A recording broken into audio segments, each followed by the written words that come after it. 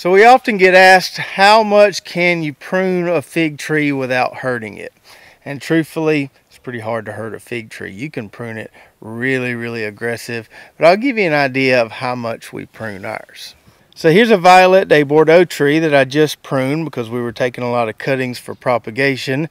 This tree did look like that one right there. But as you can see, we cut it back pretty dang good.